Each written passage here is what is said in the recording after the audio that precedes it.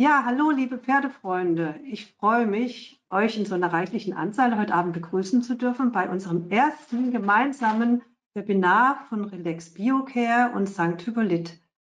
Ich möchte mich euch kurz vorstellen. Mein Name ist Katrin Ehrlich. Ich bin Gründerin von Relax Biocare, Produktentwicklerin und ähm, habe vor einigen Jahren durch das Sommerekzem meine eigenen Pferde angefangen, mir viele Gedanken zu machen, auch eigene Studien, eigene Beobachtungen und möchte euch einfach daran teilnehmen lassen. Also ich bespreche erstmal alle Beobachtungen, die wir haben über das Sommerekzem der Pferde, über die Symptome, über die Auslöser von Sommerekzem. Ich möchte auch über Allergien verstehen und vermeiden sprechen, damit wir sensibilisiert werden als Pferdebesitzer, wie wir mit unseren Pferden am besten umgehen. Natürlich um die Maßnahmen und um die Pflege, dann auch um andere Hauterkrankungen für die Differentialdiagnostik, ähm, damit wir auch die anderen Hauterkrankungen im Sommer gut unterscheiden können. Danach kommt die Julienne äh, Küsters von St. Hippolyt und berichtet noch über die Pferdefütterung, damit wir auch einen schönen ganzheitlichen ähm, Vortrag Ihnen präsentieren können. Sommerekzem ist eine Allergie gegen Mückenstiche. Das werden alle von euch schon wissen. Sommerekzem ist eine entzündliche, chronische, immer wiederkehrende Krankheit und eine Allergie vom Typ 1, das heißt eine Allergie vom Soforttyp. Wenn die Fliegen eben stechen, dann wird sofort reagiert. Das ist dann bei einer Allergie Typ 1 ganz normal. Die Disposition ist vererblich, das heißt, ähm, wir haben die Veranlagung, die tatsächlich vererblich ist, aber das ist trotz allem ähm, nicht immer feststellbar. Wenn die Eltern oder Großeltern der Pferde eine Allergie entwickelt haben, heißt es noch lange nicht, dass die Nachzucht danach auch eine Allergie entwickelt. Von daher kann man da nicht immer unbedingt drauf ähm, hinweisen und die Rasse danach aussuchen. Das Nachweisverfahren, ob sich ein Ekzem entwickelt, ist umstritten. Das heißt, man kann nachweisen natürlich, ob eine Allergie entstehen kann. Das heißt, ob eine Disposition vorhanden ist, eine Veranlagung vorhanden ist. Aber es ist auch da so, dass eine Allergie nicht unbedingt ähm, dann ausgelöst wird. Die Symptome kennen vielleicht viele von euch ganz gut. Ähm, es ist so, dass die Insekten erst stechen bzw. beißen in die Hautstellen das ergibt wiederum diesen Juckreiz an Kopf, Mähnen, Kamm, Schweifrübe sehr oft betroffen, Bauchnaht. Das daraus durch diesen Juckreiz erfolgt dieser Haarverlust, entzündete, nässende Stellen oder Krusten, Wunden. Und das wiederum ähm, schädigt die Haut so, dass die Insekten noch mehr stechen können, noch besser ähm, auf diese Stellen sich setzen und dann auch weiteren den Juckreiz verursachen dann entwickeln sich daraus oft Bakterien und Pilze und da ist wieder die, durch diesen Juckreiz neue Entzündungen ähm, in Folge und dieses Entstehen wird dann auch oft immer schlimmer und hört nicht auf. Hier sehen wir ein paar Bilder von so typischen Sommerekzem-Pferden. Das heißt, wir haben hier den Schimmel, der tatsächlich als, ja, in, als Schimmel schon von der Farbe her und vom, von der Hautempfindlichkeit her oft ähm, prädestiniert ist, schneller gestochen zu werden, sage ich mal. Dann, wir haben hier den typischen Juckreiz am Mähnenkamm. Man sieht da auch schon die Folgen am Kopf und in den Ohren. Das hier ist eine mir bekannte Warmblutstute aus dem Odenwald. Die hat tatsächlich auch nur ein reines Sommerekzem gehabt, war auch eingedeckt und ist durch Mückenstiche so gequält worden, dass er sich wirklich am ganzen Körper jucken musste. Hier haben wir noch Symptome und zwar ist das typisch links ist die Schweifrübe von einem Pferd. Da sieht man auch schon die Hautfalten, die sich gebildet haben durch diese schwere Beanspruchung der Epidermis, der oberen Schutzschicht der Haut. Bei dem zweiten Pferd, ist ein, das ist ein Isländer, da ist vor allem der Kopf und die Ohren betroffen. Und bei diesem Schimmel rechts, da fängt es langsam an. Auch da kann man, wenn der sich im Sommer einfach nur an kleinen Stellen juckt, kann man schon von einem anfangenden Ekzem durchaus sprechen. Die Auslöser des Ekzems sind Gräbemücken und Knitzen, aber auch andere Stechmücken können beteiligt sein. Es ist so, dass nur die Weibchen blutsaugend sind, beziehungsweise sich in, diese, in die Haut stechen, um dann ihr blutgerinnendes Protein in die Haut zu bringen. Dieses Protein ist dann das, was diesen Juckreiz auslöst.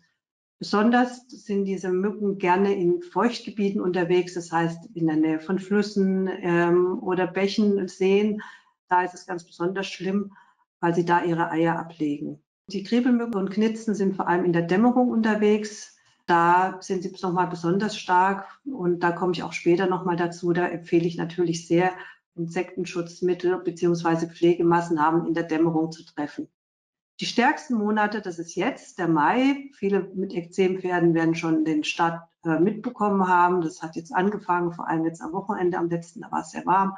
Von Anfang April bis Mai, je nach Klima, ist die stärkste Zeit. Und nochmal September, Oktober, da wollen die Weibchen nochmal Nahrung zu sich nehmen für ihre Eiablage. Da sind sie auch sehr stark. Sie fliegen auf Geruch die Beute an. Das ist sehr wichtig und sehr gut, weil wir können uns als Mensch das zu Nutzen machen, unsere Tiere zu schützen und entsprechend ähm, die Pflegemaßnahmen da einzusetzen. Welche Pferde sind denn besonders betroffen? Also es ist natürlich bekannt, dass Isländer betroffen sind. Wir haben Kaltblüter, wir haben ursprüngliche Rassen, wir haben viele Spanier, Araber, Ponyrassen, die betroffen sind. Wirklich tatsächlich Tinker, Friesen auch die Warmblüter eher seltener, aber auch die werden immer stärker im Befall von Sommerekzem in der Erkrankung. Wir haben weltweit die Zahl von fünf bis zehn Prozent aller Pferde, die inzwischen betroffen sind von Sommerekzem.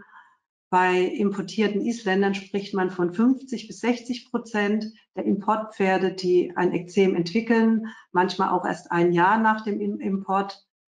Geschlechtsunterschiede gibt es keine. Also wir haben Hengste, Stuten und Wallache gleichermaßen, die an Ekzem erkranken. Und die Altersunterschiede bei der Erkrankung vom Ekzem sind auch groß.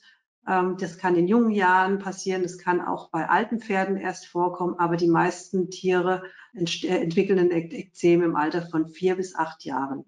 Ja, da fragen wir uns, warum entwickeln die Pferde denn ein Ekzem? Warum kann denn sowas passieren?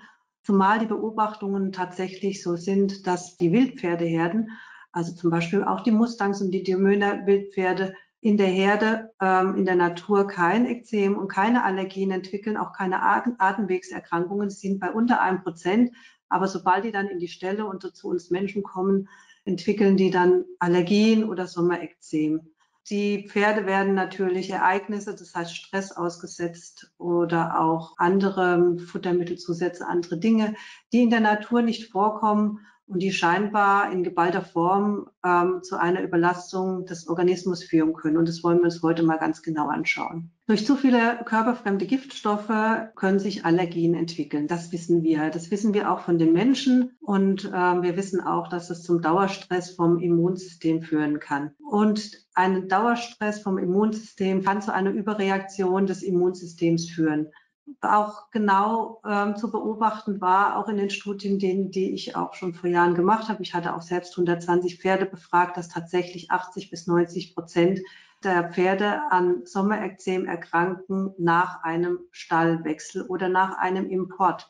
Da ist auf jeden Fall das, der Faktum Histaminausschüttung, Stress ein riesengroßer. Und auch den wollen wir uns heute genau anschauen. Ich bin auch immer dabei zu sagen, wenn ein Pferd gekauft wird und es hat plötzlich ein Ekzem entwickelt, kann es tatsächlich sein, dass der Vorbesitzer gar nichts von dem Ekzem wusste, das Pferd aber durch diesen Transport und durch diesen Stress erst dann ähm, dieses Sommerekzem entwickelt hat oder eine Allergie oder es eben auch erst nach ein paar Monaten, wenn das im Winter gekauft wurde, entsteht. Allergien allgemein werden begünstigt durch ein geschwächtes Immunsystem. Natürlich, da haben wir wieder dieses Thema Stress in jeder Form. Das ist auf jeden Fall ein Faktor, der das Immunsystem stresst. Zusammen mit ungeeigneten Futtermitteln, mit hormoneller Umstellung wie eine Kastration, Operationen oder Medikamentengaben oder eben oft alles auf einmal kann schwierig werden. Impfungen und Wurmkuren in Zusammenhang mit ähm, einem Stress und mit einem Stallwechsel ist ein ganz großes Thema. Das wird oft alles gemeinsam gemacht und ähm, die Umweltgifte, die spielen dann natürlich auch noch eine größere Rolle. Also da muss man auch wirklich genau anschauen, was man unserem sensiblen Herdenflucht- und Steppentier da antun oder beziehungsweise mit was wir seinen Körper belasten. Das alles kann eine erhöhte Histaminausschüttung zur Folge haben. Und das ist natürlich dann auch oft und schnell der Auslöser für eine Allergie. Also was genau passiert bei einer Allergie im Körper? Der Körper merkt sich ein Allergen und ist dann ständig in Alarmbereitschaft. Durch eine überhöhte Histaminausschüttung ist das Immunsystem dann eben ganz oben tut sofort bei dem nächsten Allergieauslöser oder Fremdprotein oder einen Giftstoff in jeder Form falsch reagieren und die überschießende Immunabwehr wird dann erfolgen auf normalerweise harmlose Stoffe. Bei Stress ist tatsächlich die Histaminausschüttung im Darm noch um ein sechs- bis neunfaches erhöht und wir haben auch bei dem Thema Histaminintoleranz, was wir auch bei den Menschen kennen, auch bei den Pferden ein Problem. Und da ist auch oft ein Enzym, das für den Abbau von Histamin verantwortlich ist, durch verschiedene Faktoren, unter anderem auch Medikamentengaben, durchaus möglich. Wir haben hier eine Folie von dem Professor Dr. Thein, der ist Mikrobiologe und Virologe und selber Impfstoffentwickler.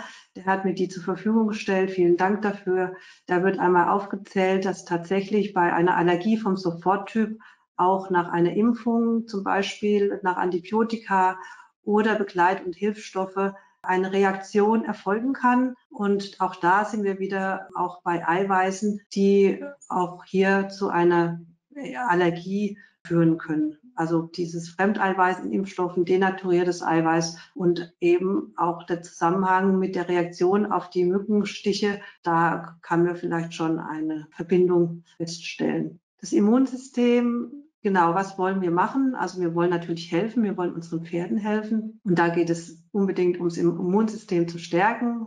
Das Immunsystem stärken beim Pferd ist auch hier wieder umgekehrt die Stabilität in der Herde. Wir wollen natürliches, gutes Futter geben. Wir brauchen gutes Heu, was die Grundlage ist von jeder Pferdefütterung. Dazu kommen aber auch die Julien nachher noch zu der genauen Fütterung. Eine gesunde Darmflora ist auch sehr, sehr wichtig. Artgerechte Haltung, Licht, Luft und Bewegung und natürlich auch eine möglichst naturheilkundliche, artgerechte Behandlung. Und wir wollen natürlich auch diese Giftstoffe vermeiden. Bei den Toxinen meiden rate ich auf jeden Fall zu einer selektiven Entwurmung. Das heißt, es wird entwurmt nach Befund, nach Kotprobe, dass wir auch Resistenzen vermeiden können und da auch den Pferden auch nur das geben, was auch unbedingt nötig ist. Das heißt, wir wollen nur entwurmen, auch wenn es nötig ist, dass die Tiere nicht zwei bis viermal im Jahr eine Wurmkur bekommen, obwohl die keinen Wurmbefall haben. Das ist ähm, heutzutage bekannt. Das sollte man einfach nicht mehr machen. Das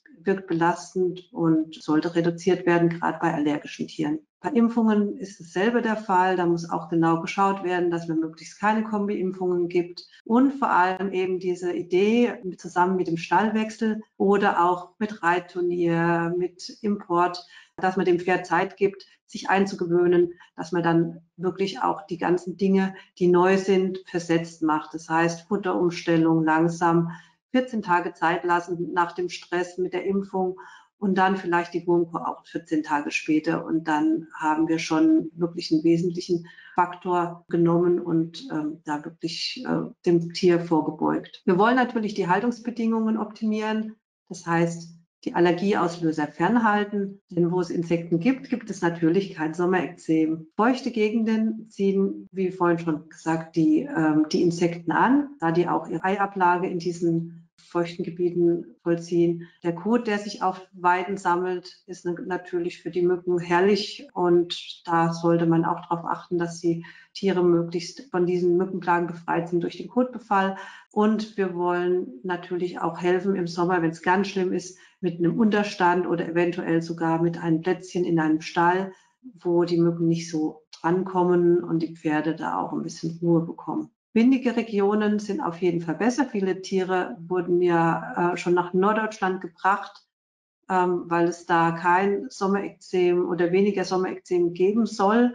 Das liegt einfach daran, dass da immer ein Wind herrscht. Da gibt es schon auch Sommerekzempferde, aber sie sind natürlich, wenn dauernd Wind ist am Meer, ähm, sind die Krebelmücken bei weitem nicht so stark wie in windgeschützten Gebieten. Wir wollen auf jeden Fall die wichtigste Maßnahme uns nochmal genauer anschauen. Und zwar ist das, die Insekten fernzuhalten. Also bei jeder Allergie geht es darum, die Allergene fernzuhalten, die Insekten fernzuhalten. Und es ist auch so, dass wenn nichts gemacht wird, die Allergie oft jedes Jahr stärker wird. Das heißt, wenn keine Prophylaxe getrieben wird, kann es sein, dass sich das immer wieder verstärkt. Genauso kann es aber sein, und das ist die gute Nachricht, dass wenn gut gepflegt wird, wenn ähm, die Insekten ferngehalten werden, dass die Histaminausschüttung unten gehalten wird, dass man fast bis zur Symptomlosigkeit die Pferde behandeln kann. Und deshalb ist es sehr wichtig, gleich beim ersten Stich zu reagieren und die Pferde möglichst zu behandeln. Und da reichen tatsächlich fünf bis zehn Minuten Pflege am Tag aus, um da wirklich große Erfolge zu haben. Ich bin dein Freund von Insektenschutzmitteln und eben Pflegemitteln auf natürliche Basis, weil ich sage, wir wollen unsere Pferde, die sowieso schon belastet sind, die sowieso eine Allergie haben, nicht noch zusätzlich mit chemischen Substanzen belasten, die über Leber und Niere abgebaut werden müssen und die eventuell auch Histaminausschüttung noch zusätzlich erhöhen können. Und da ist einfach dieser Ansatz, der ganze Ansatz von der Firma Relax Biocare, zu sagen, wir brauchen für Pferde natürliche Produkte und wir wollen die chemischen Substanzen vermeiden, weil unsere Pferde sollen damit einfach nichts zu tun haben und möglichst natürlich unterstützt werden. Da stelle ich euch gleich direkt unsere Mückenmilch vor. Das heißt, das ist eigentlich unser wichtigstes Produkt. Damit hat auch die ganze Firma angefangen, weil die sich so gut verkaufen ließ und die Pferde, die auch so sehr gut akzeptieren, wie man an dem Limonero hier sieht. Wir haben einen Insektenschutz, der nicht nur sehr gut riecht, sondern tatsächlich auch sehr gut verträglich ist. Wir arbeiten da mit zehn verschiedenen Ölen. Da komme ich auch gleich nochmal dazu. Die stelle ich vor. Die tägliche Anwendung bei Sommerekzempferden ist auf jeden Fall ein Muss. Und wenn wir die morgens und abends, aber auf alle Fälle abends vor der Dämmerung den Sommerekzempferden auftragen können, ich sage mal, die meisten Pferde, ich rede von schätzungsweise 80 Prozent ohne Decke stehen. Ich bin nicht so der Freund von den Pferdedecken, weil die einfach kein Licht an die Haut lassen. Und da haben wir mit der Mückenmilch natürlich bessere Möglichkeiten. Die Mückenmilch wirkt bei äh, ja, Mücken, wie sie schon sagt, also auch bei den Kriebelmücken und bei den Knitzen besonders gut,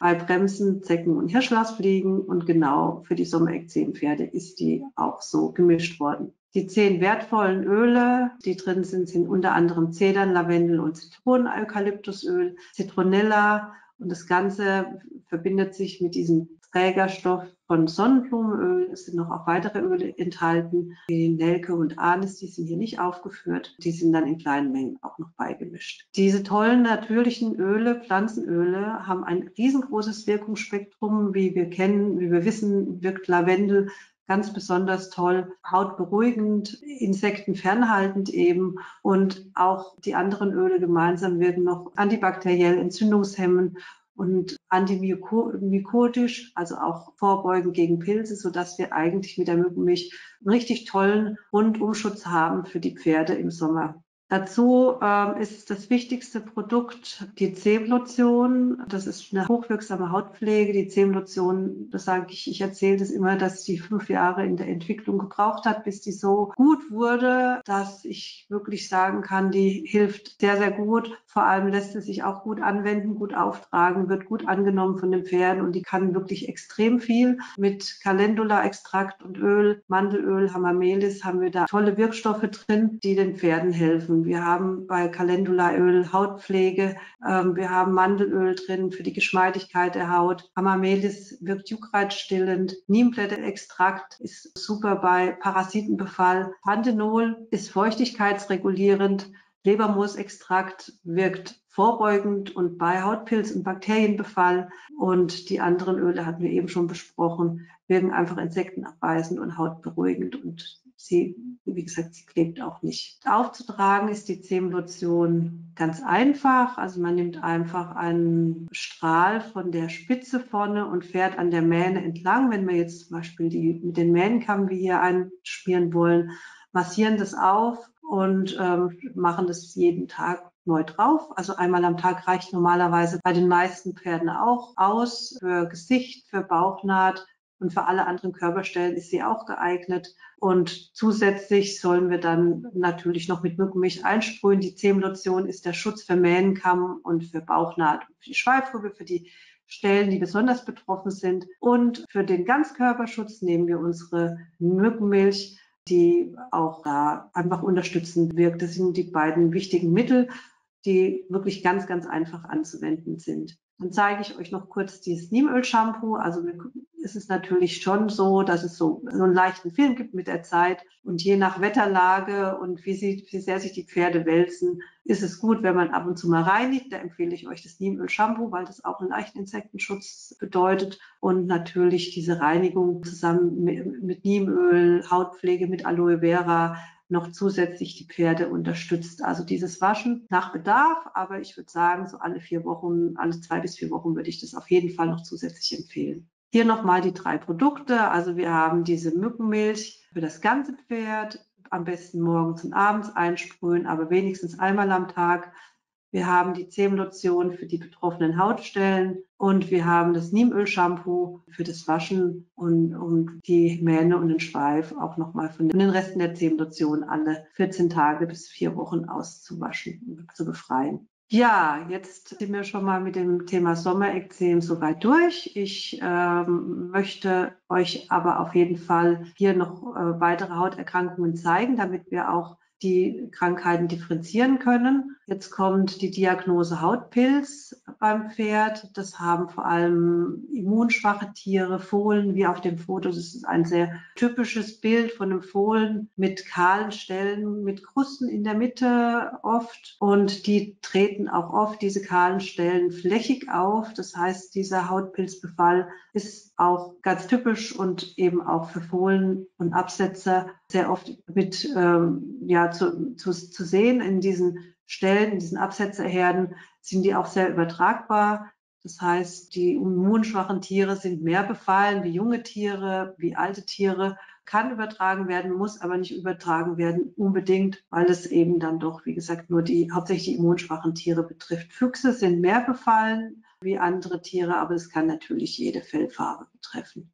Ähm, wir haben mit unserem Lebermoosextrakt ein Hautstärkungsmittel, was ganz besonders gut ist bei Hautpilzbefall. Es ist sehr, sehr, sehr gut verträglich. Und wir nehmen Moose dafür, weil Moose selbst als Pflanze sich über Jahrmillionen so dazu entwickelt hat, gegen Pilze und gegen Bakterien eigene Stoffe zu bilden. Wir nutzen das als, für unsere Pferde als Pilzmittel oder eben auch zur Hautstärkung bei Hautpilzbefall. Calendula-Extrakt haben wir da auch noch mit enthalten, damit wir da auch noch eine zusätzliche Hautstärkung bekommen bei Verletzungen und bei angegriffener Haut sowie Panthenol, was dann die Feuchtigkeitsregulierung auch noch verbessert. Also da ist auf jeden Fall, mit, haben wir ganz, ganz viele Erfolge und das Produkt gibt es auch schon seit circa zehn Jahren. Also wir sind da ganz zufrieden damit. Dann haben wir bei den Pferden ein ganz, ganz häufiges Problem, vor allem auch im Frühjahr und im Herbst. Es kann aber auch im Sommer sein. Deshalb nehme ich das jetzt mit rein.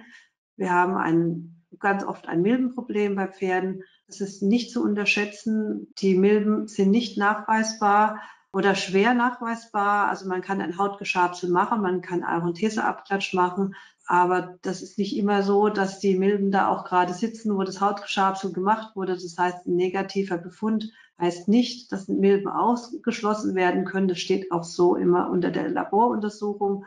Die Milben schaden der Haut großflächig, also es sieht auch aus, als wäre das Fell dann ganz gerupft. Milbenbefall lässt sich oft erkennen durch Schuppenbildung, weil die Milben unten an der Haarwurzel sitzen und sich quasi satt fressen an den Haarwurzeln. Dadurch gehen die Haare mehr aus und sie verteilen sich dadurch einfach stärker. Das kann den ganzen Körper betreffen, der Milbenbefall. Und ähm, wir haben das bei den langhaarigen Kaltblütern, Tinker, Friesen ganz oft, dass es erst im Fesselbereich anfängt und sich dann bis auf den ganzen Körper ausbreitet. Die Milben, die lassen sich nicht wegfüttern, aber wir wollen natürlich das Immunsystem stärken und auch die Haut noch über die Fütterung zusätzlich stärken. Hier ist so ein typischer Milbenbefall. Also man sieht an diesem Pferd die haarlosen Stellen, die nicht kahl sind, sondern wirklich wie angefressen am ganzen Körper sich ausbreiten können. Hier sieht man auch die Schuppen in der Schweifrübe und diese gelben Stellen sind auch typisch für den Milbenbefall. Wir haben an der Gruppe hinten bei dem Pferd einen Bakterienbefall. Also da wird tatsächlich ähm, nach dem Scheren konnte man dann gut erkennen, dass da auch noch andere offene Stellen sind. Und da ist dann auf jeden Fall unser Lebermoos und Niemspray das Richtige. Wir haben dem Lebermoosextrakt, was wirklich ein ganz hohes großes Wirkungsspektrum hat, ist noch Niemöl hinzugefügt, was ein tolles Produkt ist bei der Milbenbehandlung.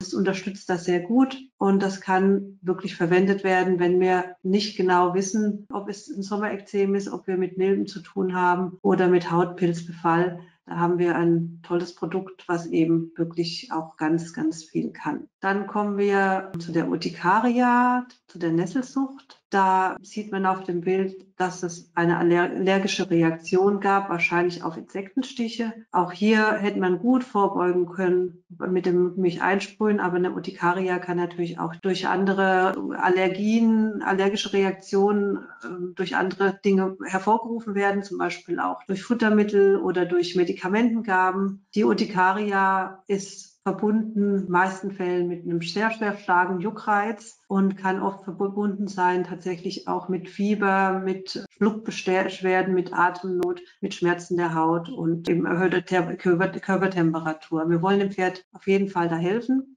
Da gehen außerhalb von natürlich homöopathischen Mitteln, würde ich Ihnen da empfehlen, dass wir da mit der Sommerlotion einfach nicht nur auf die Insekten einwirken können, sondern da kühlend vorgehen. Da sind auch die ätherischen Öle der Mückenmilch enthalten mit Panthenol, was dann zusätzlich die Haut noch pflegt und die Haut kühlt rückfettendes und auch sehr, sehr groß juckreizstillende Wirkung hat. Mit Panthenol wird die Haut dann nochmal gestärkt und man kann da wirklich dem Pferd Gutes tun, wenn es eben diese Urtikaria bekommen hat. Die Sommerlotion ist auch super für die Bauchnaht, auch für Pferde, die jetzt kein Ekzem haben. Die wirkt ganz toll gegen Insekten, gegen Zecken jeder Art und wirkt eben dazu noch hautpflegend. Dann will ich Ihnen noch die Pferdeerde Calendula und Annika vorstellen. Die Pferdeerde Calendula nehmen wir im Sommer hauptsächlich für Hautirritationen, also zum Beispiel bei, bei Sommerekzem, wenn da schon äh, offene Stellen sind und man braucht noch eine größere Abdeckung oder auch bei Sonnenbrand. Die Erde wird von dem Pferdebesitzer selbst angerührt, steht da ganz genau drauf, wie man das machen muss, damit man nicht immer den ganzen Eimer auf einmal anrühren muss, ist es eben genau angegeben. Man kann sich das selbst dosieren und kann sich dann die, die Erde mit der Tinktur immer selber frisch zubereiten. Da sind keine Konservierungsstoffe drin, aber die hält sich in einem Eimer eben wunderbar lange. Wenn die dann angerührt ist, ungefähr vier bis acht Wochen. Die Pferdeerde Annika wird verwendet bei Schwellungen, wirkt auch sehr kühlend und schmerzlindernd mit Annika-Extrakt Calendulaöl und Hamamelis-Extrakt wirkt die Pferdeerde Annika auch juckreizstillend und die wird sehr gerne hergenommen eben für diese Schwellungen nach Insektenstichen bei Einschuss oder bei Sehnen- und Bänderschaden. Jetzt möchte ich übergeben gerne an die Julienne. Ich würde mich jetzt hier verabschieden und freue mich auf die Julienne, die jetzt für St. Hippolyt das Thema der Fütterung übernimmt. Vielen Dank. Einen wunderschönen guten Abend auch von meiner Seite. Ich werde jetzt hier an die Thematik anknüpfen und den Bereich der Fütterung übernehmen und werde damit auch ähm, im Prinzip die Thematik von der Fütterungsseite abdecken, die hier schon von, der, von meiner Kollegin Katrin angesprochen wurde. Ja, ich würde sagen, wir starten dann direkt in die Thematik auch voll rein. Wir sind bei der Haut als Großem und Ganzen, im Prinzip die Haut als Entgiftungsorgan. Wir haben ja verschiedene Entgiftungsorgane in unserem Körper, also Darm, Leber, Nieren vor allen Dingen. Aber eben hier ist die Haut der Mittelpunkt beziehungsweise steht heute Abend im Fokus. Und deswegen schauen wir uns die Haut als Entgiftungsorgan etwas genauer an. Grundsätzlich lässt sich sagen, die Haut ist ja eine Hülle, die den Körper umgibt. Sie schützt den Körper, das Körperinnere vor äußeren Einflüssen und sorgt auch dafür, dass von außen nichts reinkommt, beziehungsweise dass von innen nicht kontrolliert alles nach draußen kann. Das heißt, die Haut übernimmt eine Art Barrierefunktion und es ist wichtig, dass man diese Barrierefunktion einerseits aufrechterhält, aber natürlich auch einen kontrollierten Stoffaustausch gewährleistet. Das heißt natürlich sowas wie Schweiß zum Beispiel oder bestimmte Stoffe, die von außen eindringen können, sind natürlich teilweise auch lebensnotwendig. Aber grundsätzlich haben wir eine gewisse Barrierefunktion, die immer aufrechterhalten bleiben sollte. Wie wir jetzt schon gesehen haben bei Hautkrankheiten, da kann man sich vorstellen, dass diese Hautbarrierefunktion gestört ist. Das heißt, der kontrollierte Stoffaustausch ist nicht mehr so kontrolliert, sondern unkontrolliert.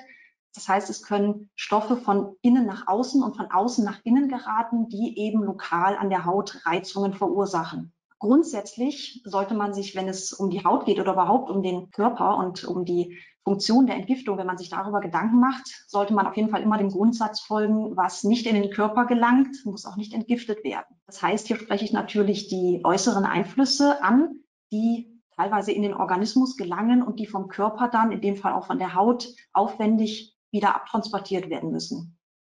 Das heißt, wir haben gewisse Schadstoffe, die über die Haut abtransportiert werden können. Dazu zählen hier zum Beispiel Pestizide oder auch spezielle Waschungen äh, mit Tierarzneimitteln, die zwar einerseits natürlich erstmal helfen sollen, aber auch durchaus schädlich sein können. Das darf man nicht äh, vergessen. Das heißt, wenn man mit Hautproblemen zu tun hat beim Pferd, dass man sich nicht nur überlegen sollte, wo kann es jetzt von innen herkommen, sondern auch, was trage ich von außen auf. Und das macht natürlich nochmal die Bedeutung natürlicher Pflegeprodukte, bringt das noch einmal näher. Aber wir wollen uns natürlich jetzt erstmal auf die innere, also auf den inneren Faktor konzentrieren. Das heißt, hier geht es ja im dritten Kapitel um die Fütterung.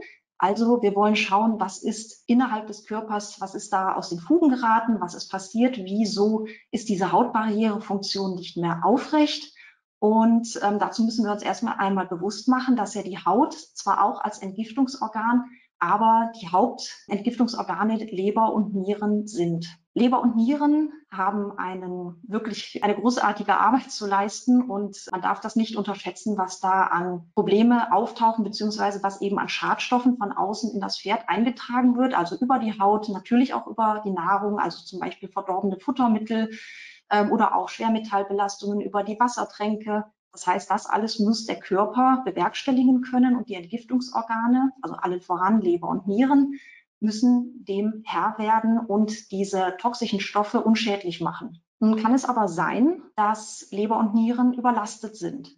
Das kann zum einen daran liegen, dass eben zu viel Schadstoffe in das Pferd gelangen. Zum Beispiel, wenn jetzt wirklich äh, eine Charge verunreinigtes Heu vorliegt, dann ist das natürlich ein sehr großer, über der Norm liegende Schadstoffeintrag, den man dann hat. Und natürlich gleichzeitig kann es auch sein, dass einfach eine Mangelernährung vorliegt, gerade im Bereich der Mikronährstoffe. Es kommt dann dazu, dass Leber und Nieren irgendwann überlastet sind und diese große Entgiftungsfunktion nicht mehr so adäquat ausüben können, sprich dass die Schadstoffbelastung einfach zu groß ist und einfach teilweise die Faktoren, die Kofaktoren für den Entgiftungsvorgang liegen. Irgendwo braucht natürlich dann der Körper ein Ventil, um mit diesen Schadstoffen umgehen zu können. Und oft wird das dann auch über die Haut nach außen getragen. Und eben wenn das alles überhand nimmt, dann kann es eben zu diesen lokalen Hautproblemen kommen. Vor allen Dingen dann, wenn auch entsprechende Kofaktoren, auf die gehe ich gleich noch näher ein, wenn diese eben fehlen in der Ration. Das heißt, es macht durchaus Sinn, dass man, wenn man ein Pferd mit Hautproblemen hat, auch immer gleichzeitig wieder, immer wieder hinterfragt, ob das Pferd auch wirklich im Mikronährstoffbereich ausreichend versorgt ist. Und es ist generell nicht verkehrt, dass man die gesamte Ration einmal überdenkt und sich gegebenenfalls natürlich auch Rat bei einem Fachmann sucht und da entsprechend dann die Ursache für diese Problematik greifen kann und verhindern kann langfristig. Wenn man sich nun jetzt die Ration etwas näher anschaut, worauf muss man achten, also was für Ansprüche hat man an die Ration, wenn eben, wie gesagt, die Haut irritiert ist, sei es jetzt durch Sommerekzem oder durch Mauke oder auch ein Parasitenbefall, der ist natürlich auch, also beziehungsweise Parasiten haben ja auch eher leichtes Spiel, wenn die Hautbarrierefunktion gestört ist. Das heißt, man sollte auf jeden Fall grundsätzlich die Ration überdenken und da gibt es verschiedene Faktoren, die wir uns jetzt gemeinsam anschauen, worauf man achten sollte. Zum einen wäre es sinnvoll, dass man auf hypoallergene Futtermittel umsteigt, also auf nicht allergieanfällige Futtermittel. Einerseits sind hier moderate Getreidemengen zu verzeichnen. Getreide ist nicht grundsätzlich unbedingt auszuschließen. Also es gibt Pferde, die tatsächlich eine Getreideempfindlichkeit haben, auch in Verbindungen mit Hautproblemen. Da sollte natürlich auf Getreide verzichtet werden. Aber ähm, grundsätzlich reicht es auch aus, wenn man moderate Getreidemengen wählt, einfach um den Stoffwechsel zu entlasten und weniger leicht verdauliche Kohlenhydrate zuzuführen. Eine Möglichkeit wäre auch die Stärkemodifikation mit dem Karottenfermentat, wie wir das bei unseren St. Hippolyt-Produkten anwenden. Der Vorteil ist einerseits, dass wir durch die Behandlung der Getreideflocken mit dem Karottenfermentat die Stärke eben so modifizieren, dass sie nicht mehr so leicht verdaulich ist, beziehungsweise nicht mehr so leicht verfügbar ist. Das heißt, die Energie wird einerseits moderat freigesetzt. Es kommt zu einem geringeren Blutzuckeranstieg und zu einer geringeren Insulinausschüttung, was natürlich insgesamt auch wieder den Stoffwechsel schont. Insgesamt kann man also eben durch diese ja, Modifizierungen der, der Getreidestärke oder beziehungsweise insgesamt auch, wenn dann die Wahl von getre äh, geringen Getreidemengen, dass man damit halt den ganzen gesamten Verdauungsvorgang, Darm und Stoffwechsel eben schont. Mineralstoffe sind hier ein ganz wichtiger Punkt. Einerseits liefern Mineralstoffe, also Mengenelemente, aber vor allen Dingen die essentiellen Spurenelemente, liefern Kofaktoren für den Entgiftungsvorgang. Das heißt, bestimmte essentielle Spurenelemente, Zink zum Beispiel jetzt, ist ein ganz wichtiger Faktor für den Entgiftungsvorgang. Wenn die Leber als Entgiftungsorgan nicht genügend dieser essentiellen Spurenelemente zur Verfügung hat, dann kann sie den Entgiftungsvorgang auch nicht adäquat leisten. Das heißt, sie geht natürlich zuerst an die Körperreserven, aber irgendwann ist einfach nicht mehr genug von diesen essentiellen Stoffen da. Das heißt, man muss natürlich darauf achten, dass hier die Versorgung immer genau richtig ist, beziehungsweise in Zeiten eines höheren Bedarfs natürlich auch darüber liegt. Also mit anderen Worten, man hat oder jedes Pferd hat einen normalen, also in Anführungszeichen normalen täglichen Bedarf an Mineralstoffen insgesamt. Aber es entsteht immer mal wieder ein Mehrbedarf. Typische Situationen hierfür ist der Fellwechsel oder erhöhte Leistung, Wachstum zum Beispiel, Krankheiten, also in denen auch natürlich die, der Genesungsprozess ein Mehr an Mineralstoffen abfragt und wie jetzt natürlich auch schon von meiner Kollegin äh, angesprochen und Fokus am heutigen Abend, typisch Sommerekzem, Parasitenbefall. Das sind alles so Situationen, wo der normale tägliche Bedarf nicht mehr gedeckt werden kann, beziehungsweise wo eben ein Mehrbedarf besteht. Denn es geht über die Normalerhaltung oder die Funktionsaufrechterhaltung des Körpers hinaus. Hier wird einfach ein Mehr an Mineralstoffen benötigt und eben besonders die essentiellen Spurenelemente, wovon ich jetzt Zink ganz vorne anstellen möchte, da dieses nochmal gerade also für Immunsystem und auch das gesamte Hautgeschehen, die Hautgenesung, Hellhufe dazu zählen natürlich auch besonders wichtig ist. Weitere sekundäre Pflanzenstoffe wären auf jeden Fall noch sinnvoll in die Ration zu integrieren, wenn das nicht schon der Fall ist. Denn sekundäre Pflanzenstoffe haben viele, viele verschiedene gute Eigenschaften. Ich habe jetzt hier verdauungsfördernd und Unterstützung der Leber natürlich als Punkte mal möchte ich die hervorheben. Einerseits verdauungsfördernd ist natürlich immer deswegen positiv, weil der Ursprung jeder Dysbalance beginnt im Darm. Das heißt, wenn die Verdauung nicht richtig funktioniert, dann sind Folgebeschwerden eigentlich schon vorprogrammiert. Von daher ist es auch wichtig, dass man die Verdauung nicht außer Acht lässt und mit sekundären Pflanzenstoffen kann man diese eben sehr gut unterstützen. Unterstützung der Leber. Bitterstoffe sind hier aufgeführt. Das Paradebeispiel ist die Artischocke. Die liefert eben Bitterstoffe für die Leber, um eben den Fettstoffwechsel zu unterstützen. Das ist gerade, wenn die Leber viel zu tun hat oder die Leberwerte schlecht sind, kann man hier mit diesen Bitterstoffen sehr gut helfen, da eben die Leber ja unter anderem nicht nur Entgiftungsfunktionen nachgeht, sondern auch für den Fettstoffwechsel maßgeblich entscheidend ist. Und hier kann man die Leber einfach entlasten, indem man ihr mit diesen Bitterstoffen oder mit diesen Bitterstoffen die den Fettstoffwechsel unterstützt. Weitere Vitalstoffe sind auf jeden Fall auch sinnvoll in die Ration zu integrieren. Es gibt verschiedenste Substanzen, mit denen man oder beziehungsweise Substanzen und Stoffe, mit denen man das Immunsystem stärken kann, den Zellschutz gewährleisten kann, also Antioxidantien, indem man die Zellen eben vor Schaden durch oxidative Stressoren bewahrt, Entzündungen regulieren, wenn man zum Beispiel an essentielle Fettsäuren denkt. Das alles sind Dinge, die man wirklich lohnend in die Ration integrieren kann und das Pferd ganzheitlich versorgen kann. Also ganz getreu dem Motto, ganzheitlich ernähren anstatt einseitig füttern. Ich würde jetzt hierzu gerne unsere Empfehlungen aussprechen. Wir haben eine sehr große Produktpalette, die im Prinzip genau auf dieses Schlussmotto der letzten Folie auszielt, nämlich die ganzheitliche Ernährung. Und hierzu möchte ich gerne ein paar Lösungsansätze vorstellen, was man eben machen kann, um die betroffenen Pferde, also mit Hautproblemen, Sommerekzem, Mauke, Parasitenbefall, wie man eben hier die Ration sinnvoll gestalten kann. Zum einen möchte ich hier unsere Hester-Mix-Serie vorstellen. Diese ist getreidehaltig, allerdings auch mit einem moderaten Getreidegehalt. Besonders hervorzuheben ist hier auf jeden Fall die sehr, sehr hohe Mikronährstoffdichte, so dass man mit relativ überschaubaren Fütterungsmengen schon einen großen Nährstoffeintrag erzielen kann. Und dieses Futter ist eigentlich unser Paradebeispiel für die Spezialpferderassen, also seines Isländer, Kaltblutrassen, also Tinker oder auch Warmblutrassen, Friesen zum Beispiel, Spanier, Lusitanus, Also hier ist das im Prinzip unser Paradebeispiel, einfach weil es sich durch die hohe Nährstoffdichte auszeichnet. Und wir haben das in diesen drei verschiedenen Variationen als Müsli, als Pellet, das ist das Klassik, und als Light Energy für die leichtfutterigen Kollegen unter den Pferden, eben in einer etwas, in Anführungszeichen, abgespeckteren Version. Aber mikronährstoffreich ist hier auf jeden Fall das A und O bei den Produkten und das Hester Mix steht absolut für diese hervorragende Mikronährstoffdichte. Die nächsten Futtermittel, die ich Ihnen zeigen möchte, vorstellen möchte, sind eher für normal bis schwerfutterige Pferde gedacht. Das heißt Pferde, die Probleme mit Gewichtsverlust haben, dass man die eben schonend wieder auffüttern kann. Diese beiden Futtermittel sind komplett getreidefrei, sind sehr niedrig im Stärke- und Zuckergehalt, sind also niederglykämisch und sind beide besonders magen-darm schonend, eignen sich also auch für Problempferde sehr gut, die Stoffwechselprobleme haben, da sind diese beiden Futtermittel, das Reislein auf Reiskleie-Basis und das Brandon XL auf Luzerne-Basis, sehr, sehr gut geeignet. Das nächste wäre unsere Glückswiese-Serie, auch komplett getreidefrei. Hier haben wir hervorragende Grundfutter-Alternativen, also auch also Heualternativen in den Heukops, also in den Glückswiese-Heukops und den Glückswiese-Wiesentalern. Die zeichnen sich aus durch regionale Wiesengräser und Kräuter und die halt schonend Warmluft getrocknet wurden, gepresst wurden und mit Wasser anzureichern, sehr schmackhaft sind und sehr gut, also sowohl für leichtfutterige Pferde in kleinen Mengen, aber auch durchaus für etwas schwerfutterigere Pferde in größeren Mengen sehr gut einsetzbar sind.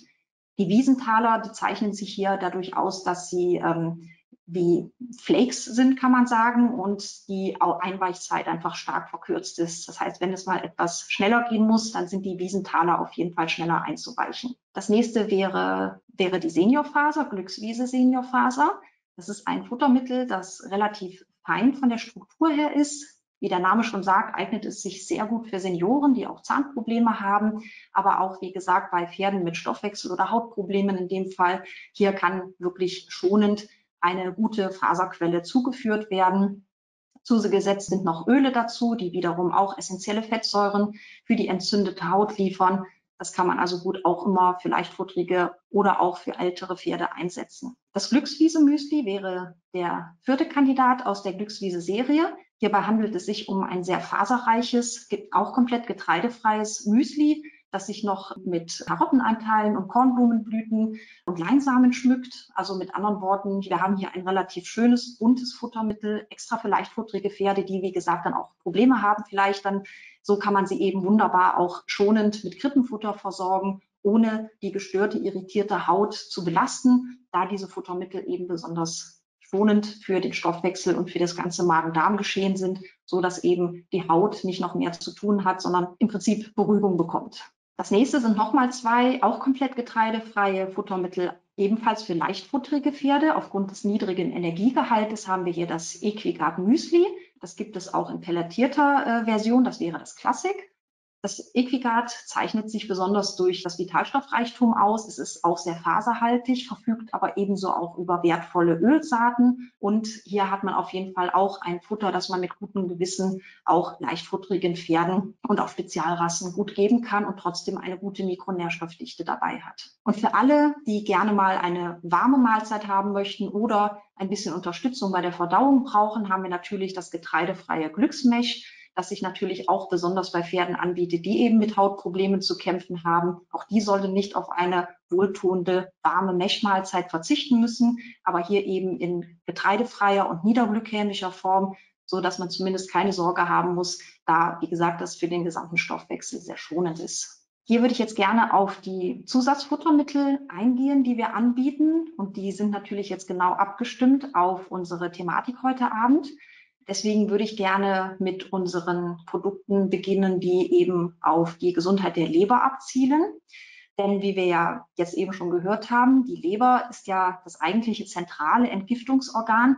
Aber wenn die Leber überfordert ist, was zwar Gott sei Dank nicht so schnell passiert, weil sie wirklich Großartiges leistet, aber wenn eben bestimmte Nährstoffe fehlen, dann kann die Leber irgendwann die Entgiftungsfunktion einfach nicht mehr adäquat ausführen.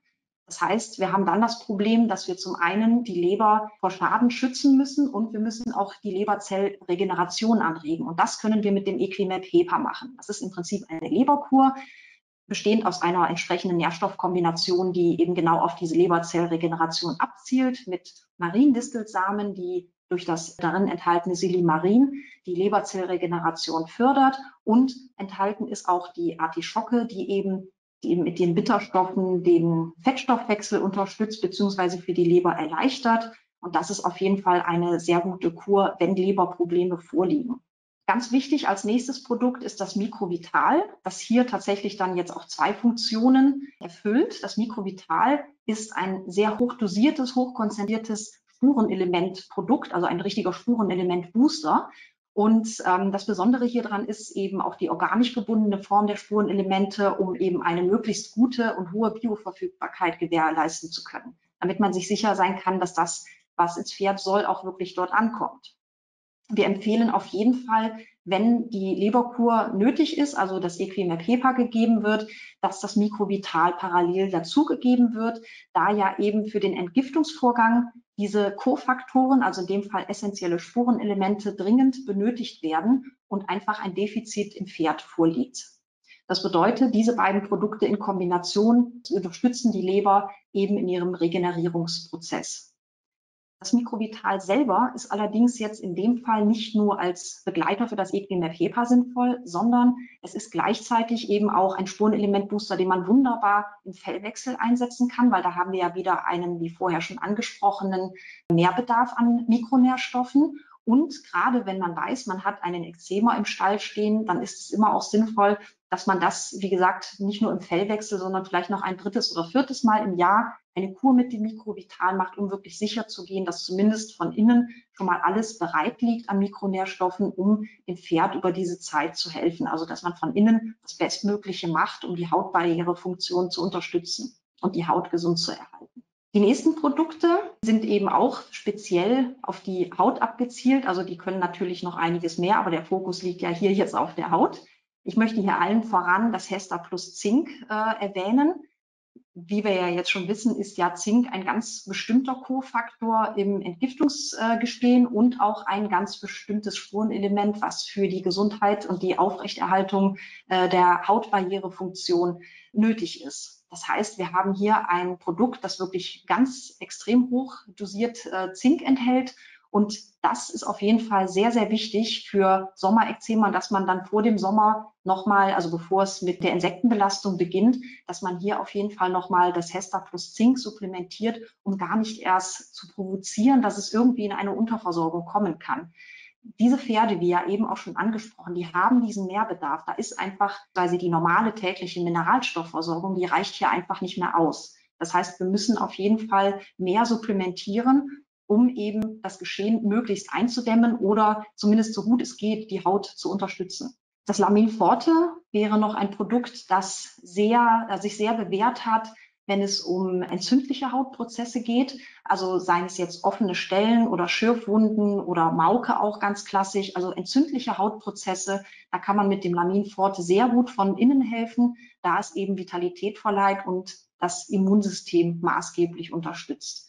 Also bei entzündlichen Hautprozessen an das Lamin Forte denken. Das Hippomun Forte, das wäre das nächste Produkt, was ich gern vorstellen möchte. Das auf das Immunsystem als solches abzielt. Es stärkt die Abwehrkräfte und es bietet halt ein großes Nährstoffspektrum eben zur Unterstützung äh, des Immunzellwachstums. Und hier kann man mit dem Hypomon Forte auch nie was verkehrt machen. Es wird auch kurweise gegeben und dieses kann man zum Beispiel auch sehr gut in Zeiten höherer Belastung einsetzen. In dem Fall wäre das zum Beispiel, wenn die Insekten sehr anstrengend sind und das Pferd belasten oder eben in stressigen Situationen oder auch wenn bei einem Parasitenbefall kann man hier, wie gesagt, auch nochmal das Immunsystem gezielt unterstützen mit dem Hippomon Forte und dem gute, der guten Nährstoffkombination dieses Produktes. Ich habe eben schon weitere Vitalstoffe angesprochen, die auch am Entzündungsgeschehen äh, beteiligt sind.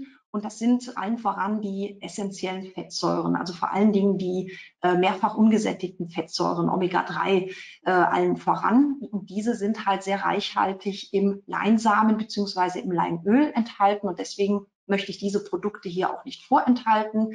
Ähm, der Linustar, das wäre der goldgelbe Leinsamen. Der zeichnet sich besonders dadurch aus, dass er in einem patentierten Verfahren ganz schonend angecrackt wurde. Das bedeutet, dass zwar die Schale noch so weit intakt ist, dass der Leinsamen vor Oxidation, also vor Verderb geschützt ist, aber durch dieses leichte Cracken entstehen ganz feine Mikrorisse im Leinsamen und die lassen eben sehr verlässlich die Schleimstoffe frei, die eben unter anderem auch der Verdauung äh, zuträglich sind, also die Verdauung unterstützen und somit natürlich auch dem Pferd von daher dienlich sind.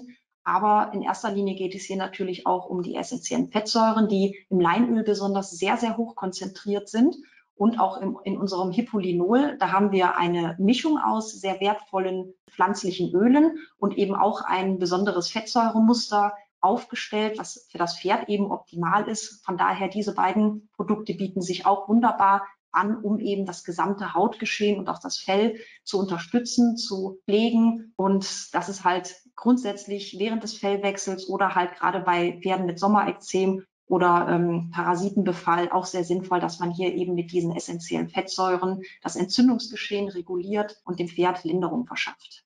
So, damit wäre ich auch schon am Ende mit dem Fütterungsteil des Seminars. Ein herzliches Dankeschön im Namen meiner Kollegin Katrin und mir dass wir heute Abend den, also einen schönen Abend mit euch verbringen durften, dass wir euch ein bisschen was ähm, über die Hautprobleme beim Pferd näher bringen konnten und dass es halt, wie gesagt, wie meine Kollegin das sehr schön gezeigt hat, auch ähm, auf natürliche Art und Weise gehen kann, dass man das Pferd eben wunderbar pflegt und dass man mit entsprechenden Fütterungskonzepten auch von innen sehr gut unterstützen kann und eben auch die Basis legen kann für einen gesunden Organismus und eine gesunde Haut in dem Fall natürlich. Und an dieser Stelle bleibt mir erstmal nur noch zu wünschen, dass ihr alle eine sichere Zeit habt, dass ein hoffentlich nicht zu insektengeplagter Sommer auf uns alle zukommt. Und ähm, wenn dem so sein sollte, dann wissen wir ja jetzt, wie wir unsere Pferde gezielt unterstützen und schützen können.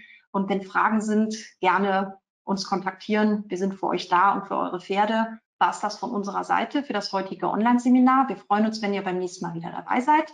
Und wir wünschen euch jetzt einen schönen Abend und bleibt gesund und eure Pferde auch. Bis bald. Tschüss.